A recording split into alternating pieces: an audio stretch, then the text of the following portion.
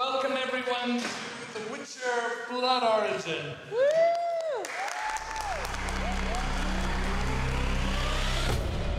Let's start off with episode one of Ballads and Bloodied Blades, written by some eejit called Declan de Barra and directed by some genius called Sarah O'Gorman.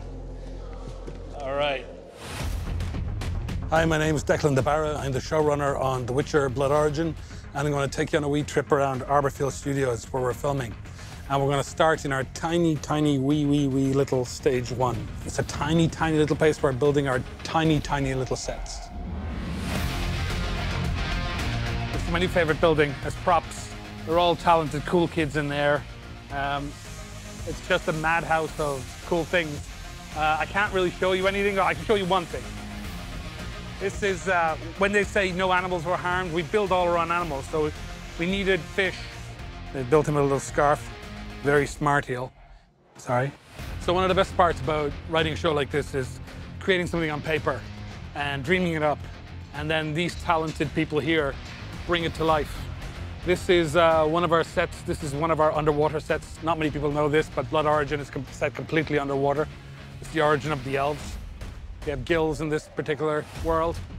This will actually be repurposed in season six of The Witcher, where it becomes a drowner bar. Um, another thing that I really like about this season is that we are using real beasts. No CGI, no nothing. So we've actually genetically engineered our own beasts. We store them here uh, in these containers. We uh, feed them three or four times a day with recalcitrant writers.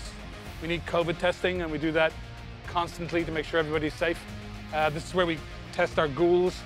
And uh, despite this being a huge place, as you can see, it's massive and it stretches on and on and on. It's not going to be big enough for the world of The Witcher Blood Origin. So we're going to have to take you somewhere else. We're not just going to be filming on set. This is an epic show.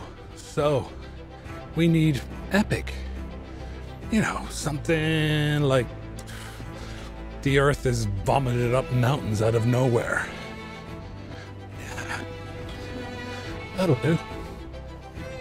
So the fun thing about Blood Origin is that we get to tell the story of what happened before the books, before the conjunction of spheres, the big calamitous event that happened that merged the world of monsters and men.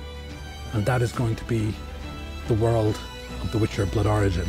And we can't wait for you to see it. Watch The Witcher Blood Origin. Stream it.